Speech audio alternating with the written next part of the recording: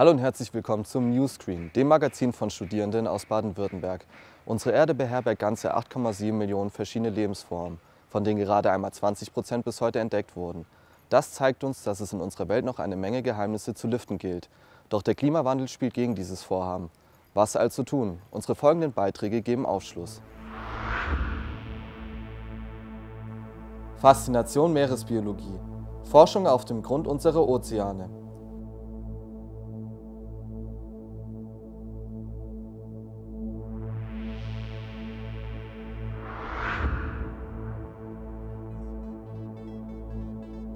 Exkursion zu den Azoren. Begegnung mit Land und Lebewesen. Und Vertical Farming. Landwirtschaft im Hochformat.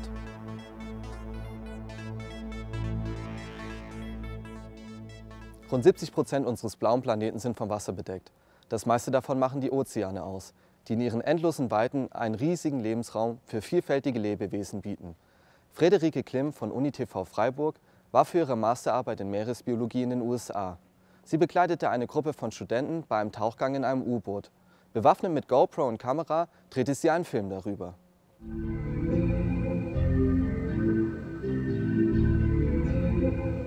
Die Salish Sea vor der Westküste Nordamerikas. In dem Binnenmeer am Rande des Pazifiks leben zahlreiche Organismen, viele davon tief unten auf dem Meeresboden. Der Inhalt eines Schleppnetzes gibt einen Eindruck davon, wie das Leben in den scheinbar unerreichbaren Tiefen aussieht. Studierende und Wissenschaftlerinnen der Friday Harbor Laboratories wollen das vielfältige Leben in den Gewässern untersuchen. Damit die Tiere so bald wie möglich zurück ins Wasser können, sortieren sie schnell ihren Fang.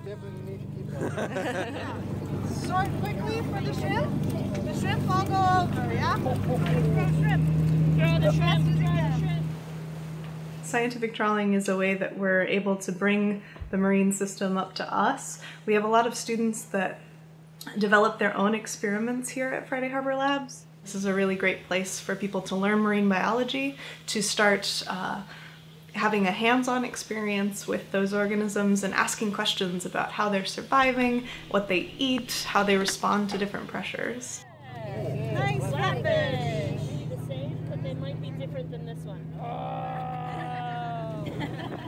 Kommerzielle Schleppnetzfischerei ist hier im San Juan Channel verboten.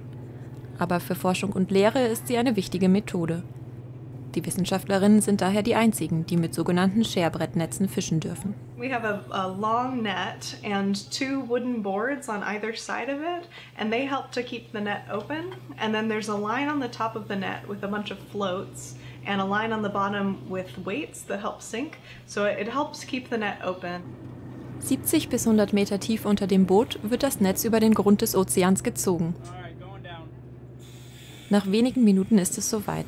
Das Schleppnetz wird wieder eingeholt. Wissenschaftliche Schleppnetzfischerei wird vor allem in der sogenannten bentischen Ökologie verwendet. Dieses Forschungsgebiet beschäftigt sich mit der Organismengesellschaft am Boden von Gewässern. Seit rund 30 Jahren läuft das Forschungsschiff Centennial einige Male im Jahr zur Schleppnetzfischerei aus. So a, spot that we have done scientific trawling for a number of decades. We try to keep a, a minimal footprint when we do when we do stuff like this. So we kind of go to the same spot over and over again. So bleibt eine Menge Habitat ungestört zurück, wenn die Wissenschaftlerinnen in ihr Labor zurückkehren. Es ist aber bekannt, dass Schleppnetzfischerei das Leben auf dem Grund beeinflusst. Sie hinterlässt Furchen und beschädigt Organismen. Verglichen mit großen kommerziellen Fischzügen sind die Fangfahrten des Labors kurz und selten und ihre Netze klein. Trotzdem bleiben die Wissenschaftlerinnen wachsam. Sie wollen herausfinden, welchen Effekt ihre Fischerei auf das Habitat hat, das im Fokus ihrer Forschung steht. We know that those big otter trawls can have a negative effect on the seafloor, so we wanted to look and see if we'd left any scars, any tracks from those trawls over the years.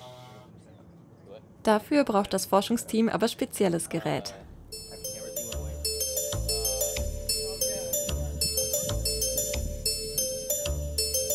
This is Cyclops 1. Uh, it was an existing hull that we acquired. It's a steel hull. It's an inch thick, and the dome here is three and a quarter inch thick acrylic. Uh, it's good to 500 meters, 1,640 feet. Das U-Boot bietet Platz für vier Personen und Pilot Stockton Rush.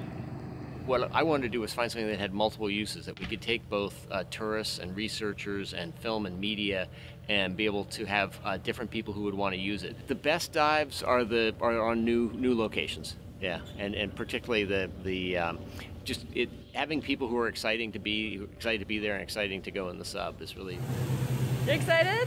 Yes! That's so cool. That's why I do science. Time is now. Time is now. Yes.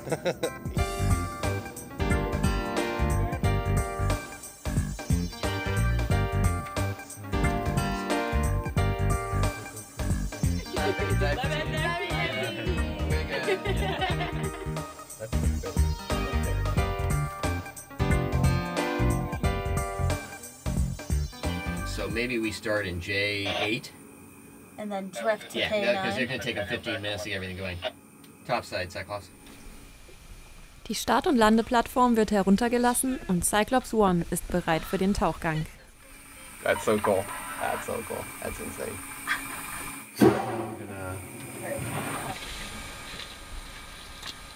Das Team sinkt in Richtung Grund. Um sie herum fällt Meeresschnee. Das sind Reste von toten Pflanzen und Tieren, Ausscheidungen und andere organische Materialien. Sie sinken aus höheren Wasserschichten auf den Grund. Dort angekommen liefern sie Futter für viele andere Lebewesen. Oh, I see bottom. Oh yeah, yeah. Uh, like le- a foot like a off the foot. ground. We are currently 85 meters. Fasziniert beobachten die Wissenschaftlerinnen die Fische in ihrer natürlichen Umgebung. Eine Seeratte finden sie nur selten im Schleppnetz. Und im Labor treffen sie die Fische oft eher im Glas, eingeschnapst. Moderne Techniken wie ein CT-Scan erlauben dafür einen atemberaubenden Blick ins Innere der Fische. Professor Adam Summers hat sich zum Ziel gesetzt, alle Strahlenflosserfischarten der Welt zu scannen. Rund 4000 sind schon erfasst. Die gesammelten Datensätze sind für alle online verfügbar, sodass Wissenschaftlerinnen weltweit sie nutzen können. Die Vorbereitung, das Scannen und die Datenanalyse der Fischproben sind allerdings mühsam. Forscherin Carly Cohen packt eine Probe für einen Scan. Ihr persönliches Interesse gilt einem ganz bestimmten Teil der Fische, ihren Zähnen. I'm working to create a statistical and computational model to measure homodonty and heterodonty in a functional way. And then can we use that functional definition to say a little bit more about their biomechanics, the evolution of tooth shape, structure, and size? Fest verpackt ist der Fischburrito bereit für den CT-Scanner. Hier wird der Fisch in vielen Schichten geröntgt. Aus denen entsteht später ein 3D-Modell. Darüber, wie viele Zähne sie in solch einem Scan entdeckt, freut sich Carly Cohen. So he has his oral jaws here, and they have teeth. He's got palatine jaws, or so he's got teeth on his palate right here, and then he has pharyngeal jaws with teeth. The sculpin has teeth on their oral jaws. They have teeth on their vomer, and they also have pharyngeal jaws. So there's six different sets of teeth in one oral pharyngeal cavity, and it makes me so ridiculously happy. like, like, and then he has shrimp in his belly because he ate a shrimp, and then he got eaten by a lingcod.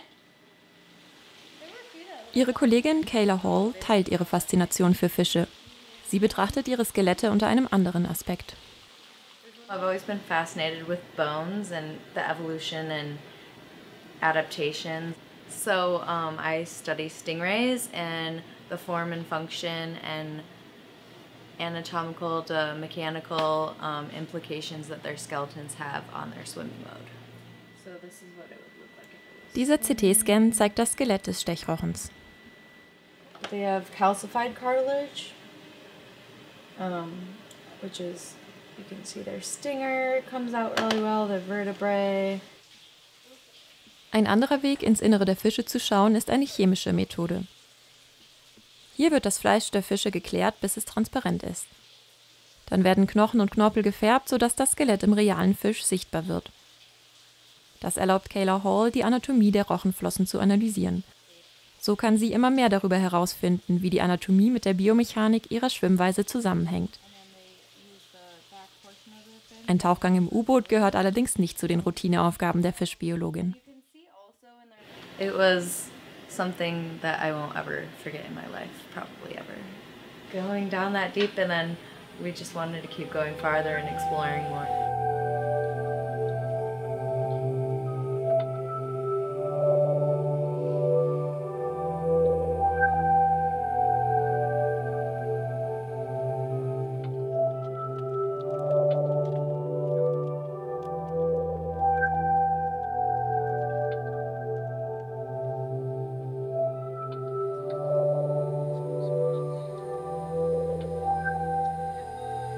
Das Team hält nach Spuren des Schleppnetzes Ausschau.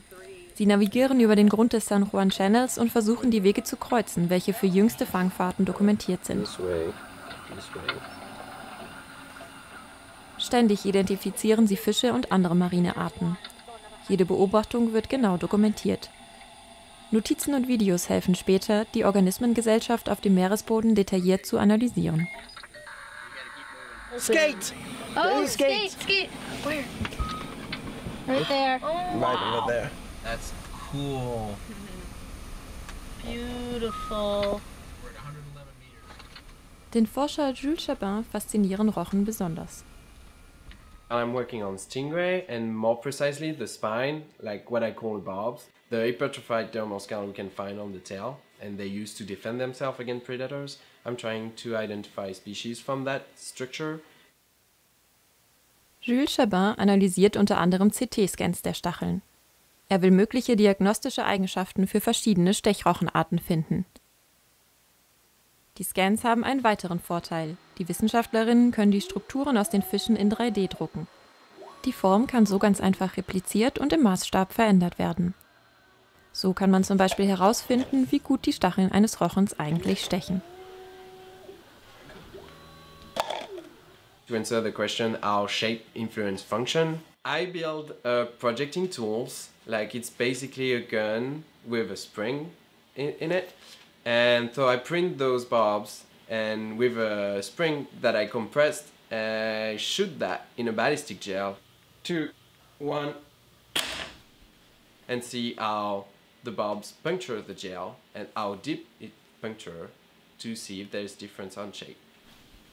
Nach ihren eigenen Experimenten treffen sich die Forscherinnen, um ihre U-Boot-Mission zu besprechen. Entgegen ihrer Erwartungen haben sie keine Schleppnetzspuren gefunden.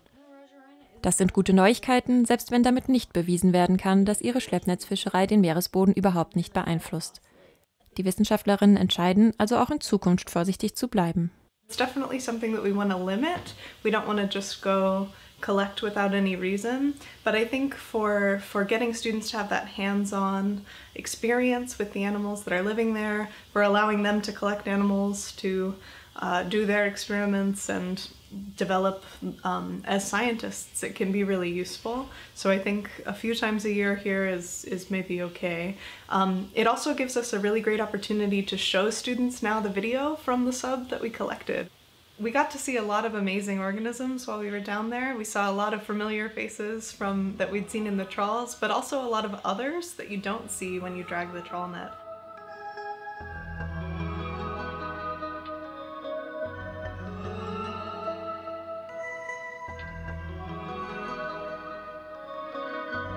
Nach einigen Stunden in bis zu 120 Metern Tiefe taucht das Team wieder auf.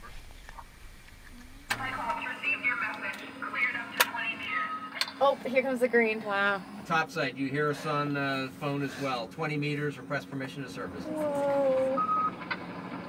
Oh. oh my gosh. Ah. Wohlbehalten zurück an der Oberfläche ist das Team sich einig. Es war ein fantastischer Tauchgang für Wissenschaft und Lehre, aber auch eine Chance, ihre Faszination für das Leben im Ozean zu teilen.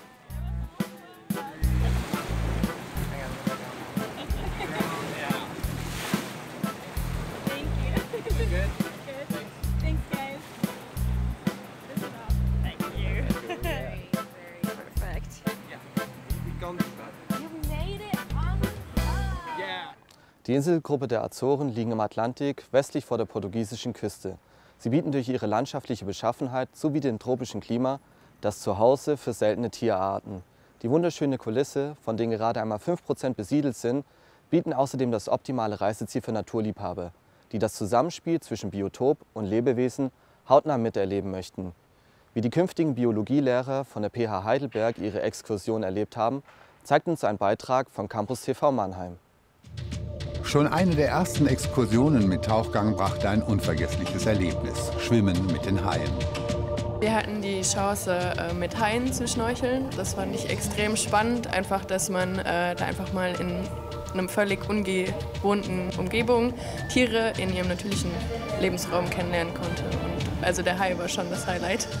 Auch wenn der weiße Hai als Anschauungsmaterial im Seminar der Biologen durchaus eine Rolle spielt, so stand er für Professorin Lise Jäkel von der PA Heidelberg nicht im Mittelpunkt der Studienfahrt. Man kann die Natur nur schützen, wenn man sie kennt. Erst dann kann man Wertschätzung entwickeln. Daher ist für uns im Rahmen der Bildung für nachhaltige Entwicklung die originale Begegnung mit den Lebewesen, mit den Biotopen ein ganz wichtiger Bestandteil der Ausbildung der Lehrerinnen und Lehrer. Denn wir möchten doch, dass sie die Begeisterung für das Lebendige später an ihre Schülerinnen und Schüler weitergeben, damit es uns gelingt, die Lebensbedingungen auf unserem Planeten so zu gestalten, dass wir noch lange und global so weiterleben können. Natürlich hatten die Studierenden auch ihren Spaß bei den verschiedenen Exkursionen, beispielsweise die Schlauchbootfahrten zum Whale-Watching.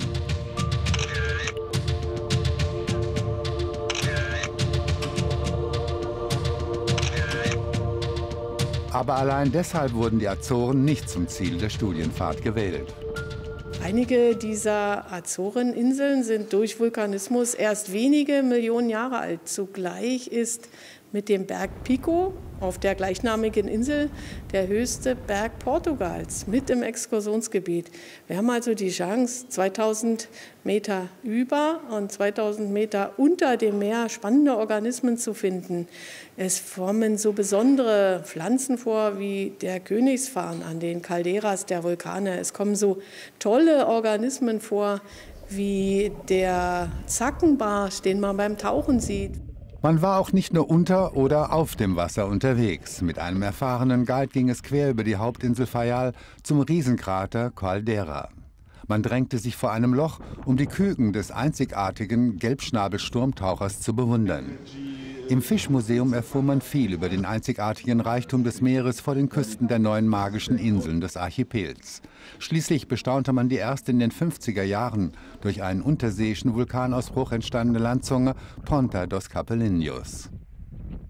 Man kann sich mit der Zerbrechlichkeit der Erdkruste beschäftigen, denn wenn man sieht, dass 60 Jahre nach dem letzten Vulkanausbruch auf Fayal diese Aschehaufen noch völlig unbewachsen sind, wenn man sieht, wie die Häuser zum Teil durch Vulkanismus zerstört, aber wieder aufgebaut wurden, übrigens sehr stark mit EU-Fördermitteln, dann sieht man, wie empfindlich unsere Erdkruste ist, wie dünn sie ist und wie sinnvoll es ist, sich für den Schutz ihrer Flora und Fauna aktiv einzusetzen. Dabei ging es vor allem um Bildung für nachhaltige Entwicklung, die auf dieser Studienfahrt geübt werden sollte. Ein Thema, das von den Studierenden mit großer Empathie aufgegriffen und umgesetzt wurde. Wir haben geschaut, wie wir es ähm, schaffen, möglichst nachhaltig mit dem Meer, mit den Lebewesen im Meer umzugehen. Da haben wir verschiedene Ansätze. Also einerseits haben wir das Verhalten der Tiere kennengelernt, um zu schauen, zum Beispiel beim Pottwal, man muss, wenn wir jetzt Whale-Watching machen, einen gewissen Abstand halten. Und auch andere Sachen, wie zum Beispiel, wir haben den einen Strand von Plastik gesäubert, also Müll gesammelt. So Kleinigkeiten, die nur kleine Schritte sind, aber trotzdem im Gesamten helfen können, einen nachhaltigeren Umgang mit den Meeren zu fördern.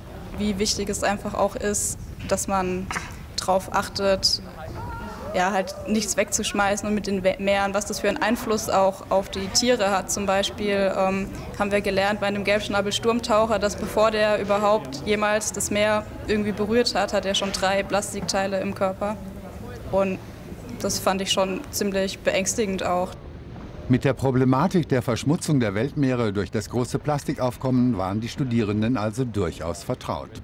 Am meisten mitgenommen habe ich auf jeden Fall, dass ähm, wir als Lehrer später auch ähm, das an unsere Schüler weitergeben sollten, ähm, dass es für uns alle wichtig ist, nicht nur für die Leute vor Ort. Durch diese Exkursion hatten wir tatsächlich so einen, einen, einen praktischen Berührungspunkt und wir haben sehr viel Bewusstsein geschaffen. Vor allem, vor allem ich hatte das Gefühl, wie repräsentativ diese Probleme und wie aktuell diese Problematik tatsächlich ist. Und ähm, dadurch kann ich auf jeden Fall für mich mitnehmen, dass, dass die Meere wirklich, wirklich absolut schützenswert sind. Und wer es einmal erlebt hat, wie Delfine das Schlauchboot begleiten, der versteht, dass die angehenden Lehrer den künftigen Generationen den nachhaltigen Umgang mit den Ressourcen unseres Planeten vermitteln sollen und wollen. In den Supermarkt zu gehen und mal eben Spargel aus NRW, Bananen aus Ecuador oder Reis aus Myanmar in den Einkaufswagen zu legen, geht einfach. Es ist für uns eine Selbstverständlichkeit. Doch die Plantagen für solche landwirtschaftlichen Erzeugnisse benötigen viel Platz, der bei steigender Weltbevölkerung bald nicht mehr zur Verfügung steht. Ist die Landwirtschaft überhaupt noch zukunftsfähig? Ein Beitrag vom GLF Campus TV aus Furtwang zeigt einen neuen Trend, der in die Höhe schießt.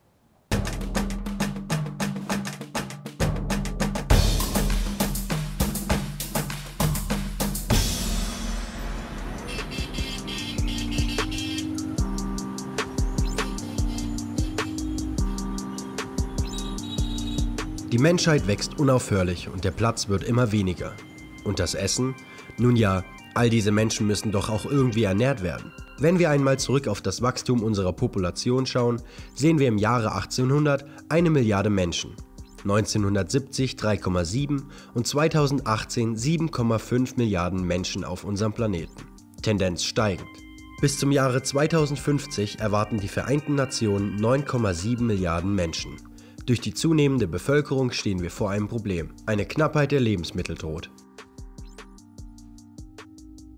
Nahrungsmittel müssen auf einem anderen Weg produziert werden. Und damit kommen wir auch schon zu unserem heutigen Stichwort. Vertical Farming. Die Zukunft oder doch nur eine Jungfer im Grün?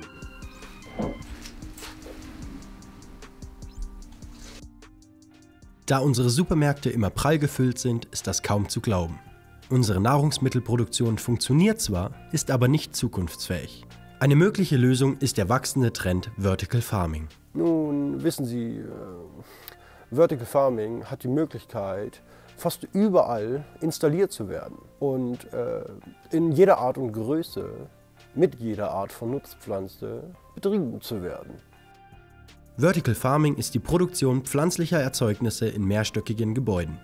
Damit werden die Einschränkungen durch Wetterbedingungen aufgehoben, die Herausforderung des Transports bewältigt und die Erträge deutlich erhöht.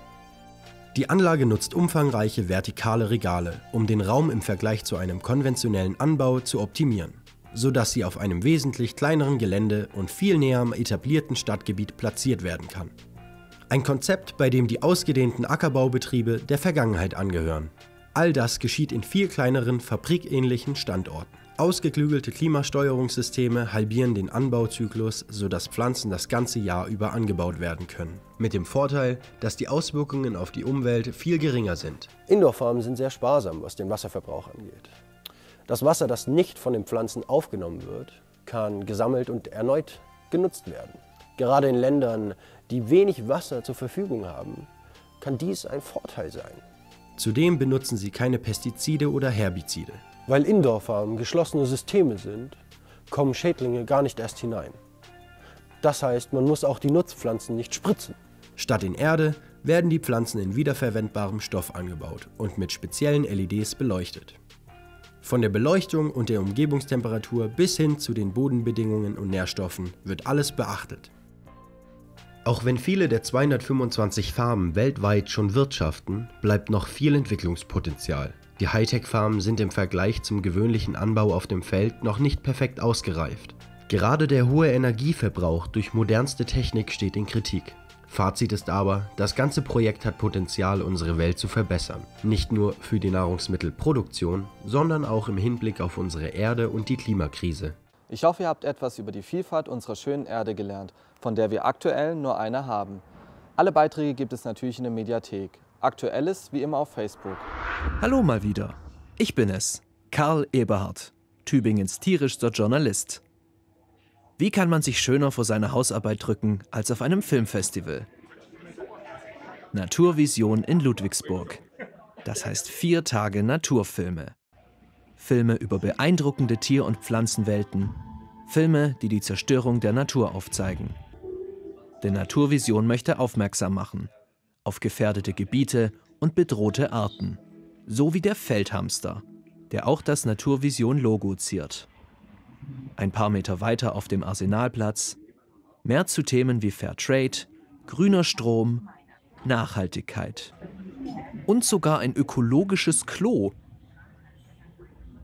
Hey, besetzt! Ich merke, Nachhaltigkeit und Umweltbewusstsein sind gar nicht so einfach. Mein persönliches Highlight, das Open-Air-Kino. Und das auch noch kostenlos. Das lasse ich mir als Schwabe natürlich nicht entgehen. Einen Film über Enten habe ich leider nicht entdeckt. Vielleicht nächstes Jahr. Dann ist bestimmt auch meine Hausarbeit fertig. Bis dahin, euer Karl Eberhard. Dann bleibt nur noch eins zu sagen. Tschüss und bis zum nächsten Mal.